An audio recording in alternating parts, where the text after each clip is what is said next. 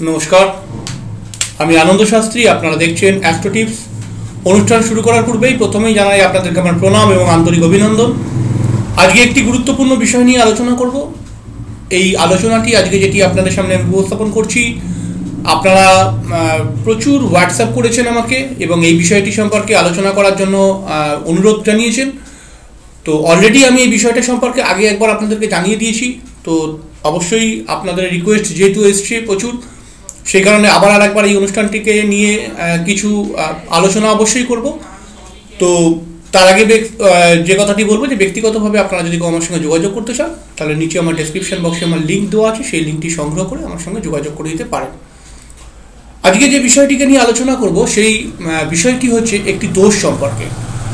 আমাদের জ্যোতিষশাস্ত্র মতে অনেক রকমের দোষ হয় এবং এই দোষগুলি জীবনের বিভিন্ন রকমের অশান্তি বলুন বা বিভিন্ন রকমের সমস্যা বলুন, শারীরিক সমস্যা হতে পারে, মানসিক সমস্যা হতে পারে, প্রচণ্ড সংঘর্ষপূর্ণ জীবন বিভিন্ন দোষের কারণে তৈরি হয় মানুষের।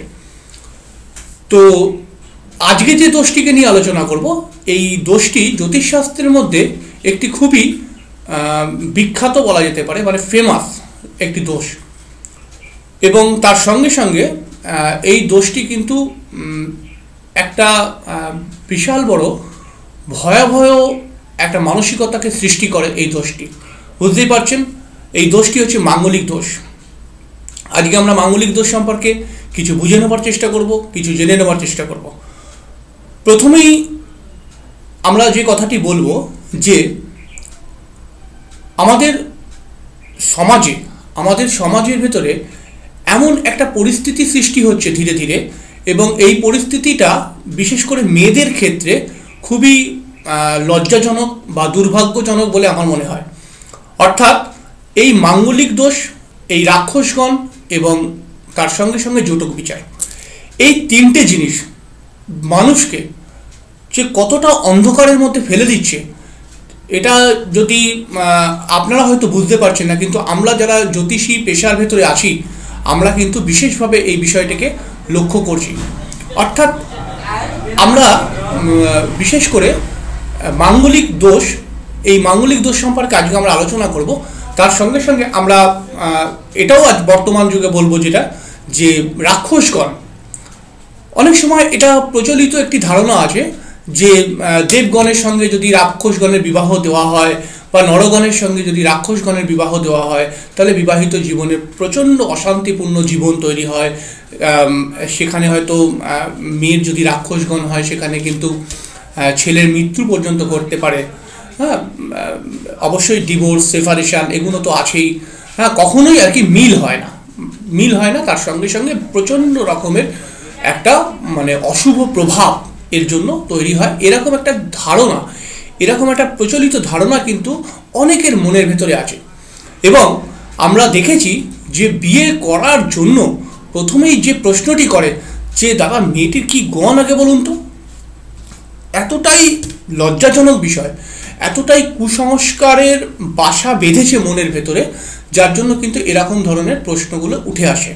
আসলে এই গণ, অর্থাৎ রাক্ষসগণ, এই রাক্ষসগণ এর সঙ্গে যদি নরগণের বিবাহ হয় বা দেবগণের বিবাহ হয়, তাহলে যে এই রকম দুর্ঘটনাগুলি ঘটতে পারে যেগুলো নিয়ে আলোচনা করলাম, এগুলো কিন্তু আমার মনে হয় যে একদমই বাজে কথা।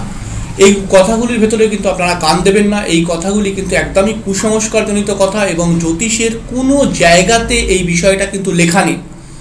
যে নরগণের সঙ্গে রাক্ষসগণের বিবাহ দিলে পারে, অকাল মৃত্যু হতে পারে, বৈধব্য যোগ হতে পারে এগুলো কিন্তু কোথাও লেখা নেই। এগুলো কিন্তু মানে সব থেকে বড় কথা হচ্ছে যে এইগুলো সম্পর্কে আসলে আমি আলোচনা করব যে মাঙ্গলিক দোষ বা এই গণের ব্যাপারটা, এগুলো আমাদের যে সমাজ, এই সমাজ ব্যবস্থার মধ্যে বেশ কিছুদিন থেকে হয়তো চলে আসছে, কিন্তু তার পেছনে কিন্তু একটা গভীর স্বার্থ ছিল। এই স্বার্থটা কিন্তু যদি আমরা বুঝতে পারি, তাহলে আমরা বুঝতে পারব যে বিষয়টি কীরকম। আসলে আপনারা বিশ্বাস করবেন কিনা জানি না, তবুও আপনাদেরকে জানিয়ে রাখব আমি। বিশ্বাস করলে ভালো, না করলে আমার কিছু করার নেই তবু আপনাদেরকে জানিয়ে রাখছি যে রাক্ষসগণ বলে কিন্তু শাস্ত্রে কোনো কথা ছিল না। শাস্ত্রের আসলে আমাদের যে বৈদিক শাস্ত্রগুলি ছিল, এই বৈদিক শাস্ত্রগুলি হচ্ছে সব সংস্কৃততে লেখা ছিল। এই সংস্কৃত লেখাগুলিকে যখন বাংলাতে কনভার্ট করা হলো, বাংলাতে পরিবর্তন করা হলো, বা অন্যান্য ভাষার মধ্যে পরিবর্তন করা হলো, তো যারা এই পরিবর্তনগুলো করেছে, তারা কিন্তু সেই অর্থগুলোর পেছন থেকে আরও নিজের কিছু অর্থ ওর মধ্যে ঢুকিয়ে দিয়েছে। যার ফলে কিন্তু অর্থ অনর্থতে তৈরি হয়ে গেছে। আসলে রাক্ষসগণ বলে কিন্তু কিছু ছিল না, আসলে ছিল কিন্তু রক্ষকগণ। রক্ষকগণ কথাটাকে রাক্ষসগণে পরিবর্তন করে দেওয়া হয়েছে। রক্ষকগণ মানে হচ্ছে কি? যে সমস্ত জাতক প্রতিবাদী মানসিকতার হয়, যে সমস্ত জাতক জাতকদের ভেতরে নিজের জিনিসটাকে নেবার জন্য যে শক্তি বা যে একাগ্রতা দরকার, সেটা প্রচণ্ড পরিমাণে দেখতে পাওয়া যায়।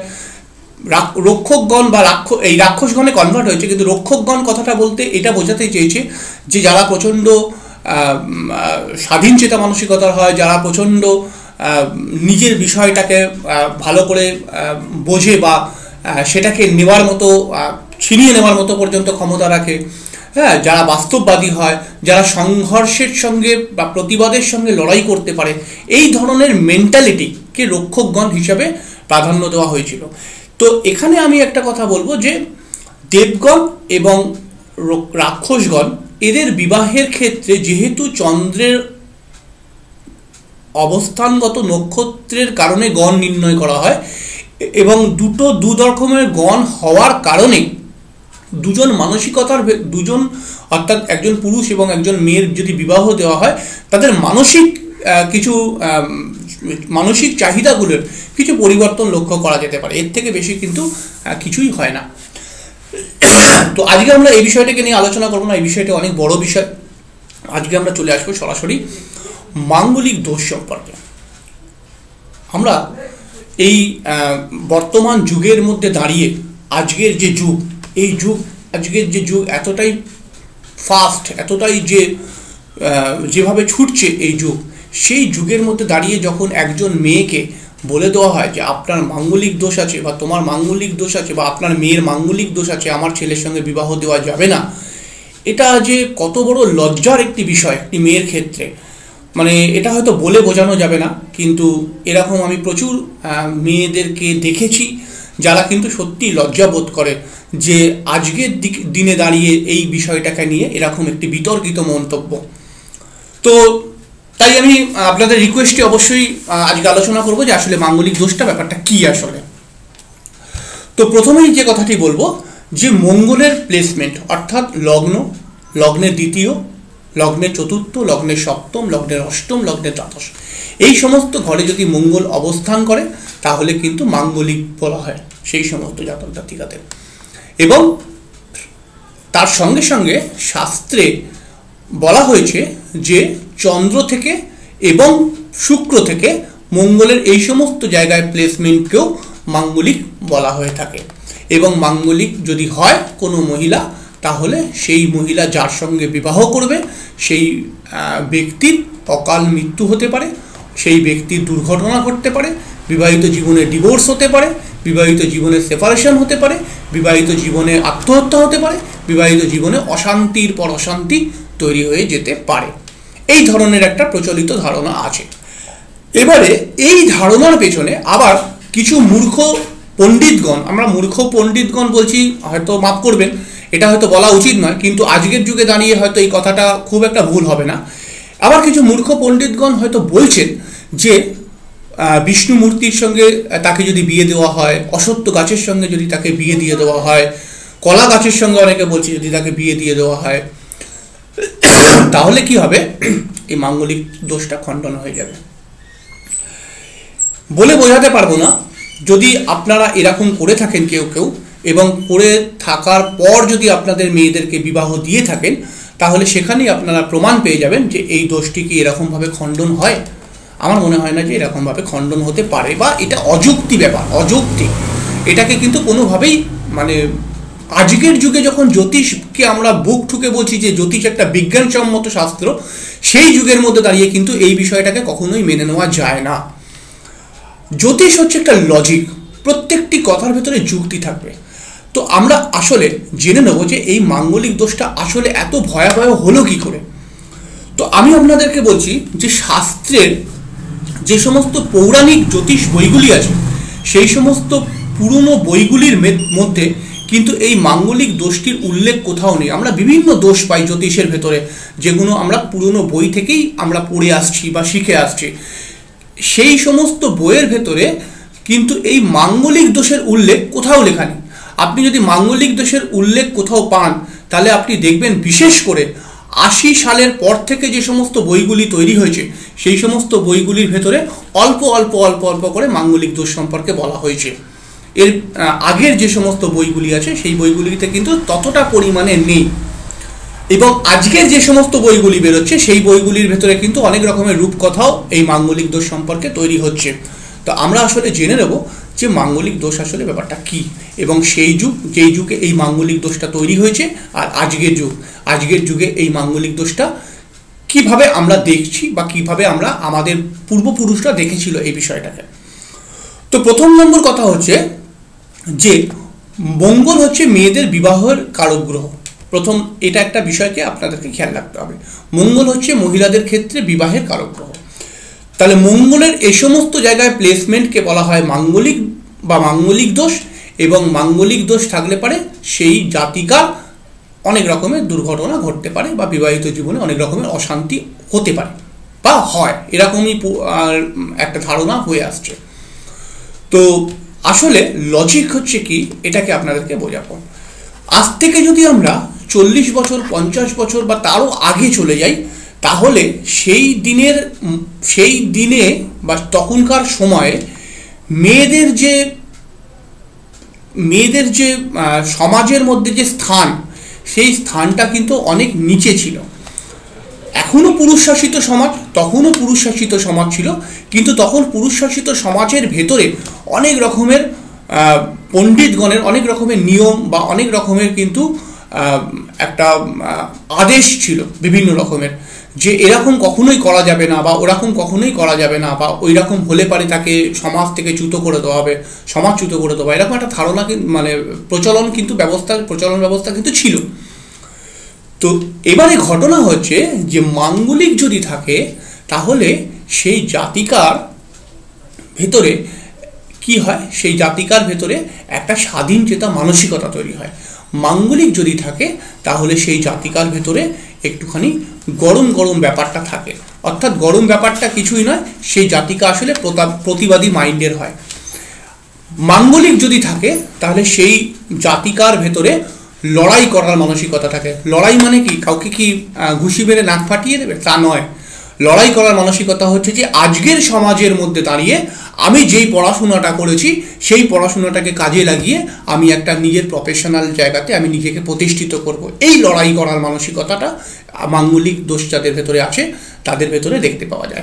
মাঙ্গলিক দোষ যদি, মাঙ্গলিক যদি হয় কোনো মেয়ে, তাহলে তার ভেতরে প্রতিবাদী মানসিকতা আছে। প্রতিবাদী মানসিকতা মানে কি? যে আপনি যদি ভুল বলেন, বা তুমি যদি ভুল বলো, আমি সেটাকে কখনোই মেনে নেব না। তুমি যদি ঠিক বলো, আমি অবশ্যই তোমার কাছে মাথা নত করব, কিন্তু তুমি ভুল বললে পারে আমি কখনোই সেটাকে মেনে নেব না। মাঙ্গলিক যদি হয়, তাহলে কি হবে? মাঙ্গলিক যদি হয়, দেখা যায় যে আমরা এরকম বহু দেখেছি যে বাড়ির পুরুষ যারা আছে তারা হয়তো অনেক সময় ভয়ভীত হয়ে থাকেন বিভিন্ন সমস্যাতে। কিন্তু মাঙ্গলিক মহিলা কিন্তু ভয়ভীত হন না। তিনি কিন্তু যে কোনো মুমেন্টে যে কোনো সময় সে কিন্তু লড়াই করতে পারে সে যে যে কোনো সময় সে কিন্তু একাই মানে বিভিন্ন সমস্যার মোকাবিলা করতে পারদর্শী হয় এবং সে কিন্তু নিজের পরিবারকে রক্ষা করতে গিয়ে ঝাঁপিয়ে পড়তে পারে। যেটা পুরুষদের ক্ষেত্রে অনেক সময় দেখতে পাওয়া যায় না। মাঙ্গলিক মেয়ের ক্ষেত্রে কিন্তু এরকম দেখতে পাওয়া যায়। মাঙ্গলিক মেয়েরা যারা হয় তারা বিশেষ করে কিন্তু আমরা বিশেষভাবে দেখেছি মাঙ্গলিক মেয়েরা কিন্তু চট করে ভেঙে পড়ে না। সমস্যার মধ্যে কিন্তু তারা হয়তো কিছুক্ষণের জন্য তারা স্থির হয়ে যেতে পারে সমস্যায় পড়ে, কিন্তু তারা ভেঙে পড়বে না। তারা কিন্তু এগিয়ে চলার মতো মানসিকতা রাখে। মাঙ্গলিক দোষ যাদের হয়, তাদের ভেতরে কিন্তু সাংগঠনিক ক্ষমতা থাকে। সাংগঠনিক ক্ষমতা মানে হচ্ছে কি? যে অনেককে নিয়ে চলার মতো একটা মানসিকতা বলুন বা একটা পাওয়ার বলুন, এটা কিন্তু থাকে। অর্থাৎ মাঙ্গলিক যারা হয়, তারা কিন্তু শক্তিশালী মানসিকতার হয়। এবারে, এই এই বিষয়টাকে যদি আমরা পঞ্চাশ বছর আগে নিয়ে চলে যাই বা চল্লিশ বছর আগে নিয়ে চলে যাই, তাহলে কিন্তু এরকম ধরনের মহিলাদেরকে কুলোটা বলা হতো। এরকম ধরনের মহিলাদেরকে কখনোই তারা সংসার করতে পারবে না। সেই ধরনের আখ্যা একটা দেওয়া হতো। বলা হতো যে এরকম ধরনের মহিলা যদি মহিলার ভেতরে এই সমস্ত নেচার কাজ করে, এই সমস্ত গুণ থাকে, তাহলে কিন্তু সেই মহিলা কখনোই সংসার করতে পারে না। কিন্তু আজকের যুগে দাঁড়িয়ে, আজকের যুগে, এছাড়াও আরও অনেক রকম কারণ ছিল। কারণ তখন পুরুষ শাসিত সমাজ ছিল, কখনোই সমাজ মেনে নিত না যে একজন মহিলা তার হাজব্যান্ড যাই কিছু বলুক, তাকে চুপচাপ সহ্য করতে হবে, তাকে প্রতিবাদ করতে পারবে না। তখনকার দিনে কিন্তু এরকম ধরনের ধ্যান ধারণা ছিল। তো আজকের দিনে দাঁড়িয়ে কিন্তু এই বিষয়গুলি আমার মনে হয় না যে খুব একটা খারাপ। আজকের দিনে যখন একজন মেয়ে তার মাঙ্গলিক যদি থাকে, তাহলে কিন্তু আমি আপনাদেরকে বলব যে সেই মেয়েটার ভেতরে কিন্তু মাঙ্গলিক থাকা মানে হচ্ছে তার ভেতরে শক্তি আছে, তার ভেতরে কিন্তু ইচ্ছা আছে, তার ভেতরে কিন্তু স্বপ্ন আছে। কি স্বপ্ন বা কি ইচ্ছা? অন্যের উপর ডিপেন্ডেবল ইচ্ছা নয়। অন্যের ওপর ডিপেন্ড করে কোনো কিন্তু স্বপ্ন দেখে না মাঙ্গলিক মেয়েরা। মাঙ্গলিক মেয়েরা কিন্তু নিজের ক্ষমতার ওপরে স্বপ্ন দেখে এবং সেই স্বপ্নকে সাকার করতে গেলে যত রকমের সংঘর্ষ আসুক, প্রতিবন্ধকতা আসুক, তাকে ওভারকাম করে সে নিজেকে প্রতিষ্ঠিত করতে চায়। তাহলে আজকের দিনে দাঁড়িয়ে কি এটা কি ভুল? আমি আপনাদেরকে জিজ্ঞেস করব যে আজকের দিনে দাঁড়িয়ে কি এই চিন্তা ভাবনা করা একটি মেয়ের ক্ষেত্রে কি অন্যায়? আজকের দিনে দাঁড়িয়ে যখন আপনার বাড়ির ছেলেরা প্রতিবাদ করতে পারছে না, বিভিন্ন রকম সমস্যাতে তারা এগিয়ে যেতে পারছে না, তখন একজন মাঙ্গলিক মহিলা কিন্তু এত কিছু ভাববে না, সে কিন্তু হুট করে যে কোনো জায়গাতে ঝাঁপিয়ে পড়তে পারবে এবং সে যে ঝাঁপিয়ে পড়বে, সে আপনাদেরকে রক্ষা রক্ষা করতে ঝাঁপিয়ে পড়বে, সে আপনাদেরকে বিপদে ফেলতে কিন্তু ঝাঁপিয়ে পড়বে না, সে কিন্তু আপনাদেরকে রক্ষা করতে ঝাঁপিয়ে পড়বে। তাহলে আজকের দিনে দাঁড়িয়ে কি এই চিন্তা ভাবনা করাটি ভুল? ভাবতে হবে, আমাদেরকে এখনও অনেক ভাবতে হবে বিষয়গুলি সম্পর্কে। তো মাঙ্গলিক থাকলে পারে কিন্তু এরকম ধরনের এফেক্ট দেখতে পাওয়া যায় মেয়েদের ভেতরে। এবারে হচ্ছে যেটা, যে মাঙ্গলিক আর মাঙ্গলিক দোষ এই দুটো কিন্তু একটু ডিফারেন্ট আছে। অর্থাৎ মাঙ্গলিক হচ্ছে মঙ্গলের প্লেসমেন্ট অনুসারে তৈরি হয়, আর মাঙ্গলিক দোষ হয় কখন? যখন মঙ্গল প্রচণ্ড পরিমাণে অশুভ হয়ে যায়, তার অশুভ স্থানে অবস্থান করে। যখন মঙ্গল তার মিত্রক্ষেত্রে অবস্থান করে, স্বক্ষেত্রে অবস্থান করে বা উচ্চক্ষেত্রে অবস্থান করে মাঙ্গলিক হয় তখন কিন্তু এই মাঙ্গলিকটি শুভ হতে পারে। এই মাঙ্গলিককে আবার অনেকে তন্ত্রক্রিয়ার দ্বারা কাটে। আমি বলব যে তন্ত্রক্রিয়ার দ্বারা কিন্তু মাঙ্গলিককে কাটাবেন না। মাঙ্গলিক একটা কিন্তু বিচার করার ব্যাপার আছে। মাঙ্গলিকটা কিন্তু খুব ইম্পর্টেন্ট হয় এবং এই মাঙ্গলিকটাকে নিয়ে আমরা কিন্তু কাজে লাগাতে পারি। তাহলে এবারে তন্ত্রক্রিয়ার দ্বারা হয়তো অনেকে কাটান। হয়তো বেশিরভাগ তন্ত্রক্রিয়ার দ্বারা কিন্তু তন্ত্রের ব্যাপারটা তো আপনারা সবাই জানেন যে বিভিন্নভাবে যে তন্ত্রক্রিয়ার মাধ্যমে কীরকমভাবে কাজ হয়। তো সেক্ষেত্রে আমি বলব যে তন্ত্রক্রিয়ার মাধ্যমে মাঙ্গলিক কাটালে পারে কিন্তু চট করে কাটে না। আসলে কোনো দোষই কিন্তু আমাদের কাটে না। এবারে যেটা হচ্ছে বিষয় যে আমি মাঙ্গলিক দোষ যেটা হয় সেটা কিন্তু মঙ্গল যখন অশুভ জায়গায় অবস্থান করে এবং অশুভ জায়গায় অবস্থান করে যখন মঙ্গল প্রচণ্ড পরিমাণে পীড়িত হয়ে যায় তখন কিন্তু এই মাঙ্গলিক দোষ তৈরি হয়। এই মাঙ্গলিক দোষ যদি মঙ্গল অশুভ হয়ে গিয়ে তৈরি করে, তাহলে তখন কি করবে? আমি যত এতক্ষণ যতগুলো বললাম, সেগুলো হচ্ছে মাঙ্গলিক, কিন্তু মঙ্গলের শুভ প্লেসমেন্টের কারণে কিন্তু এগুলো ঘটে। অর্থাৎ এই ধরনের আমি আগে যে সমস্ত কথাগুলি বললাম, সেগুলো দেখতে পাওয়া যায়।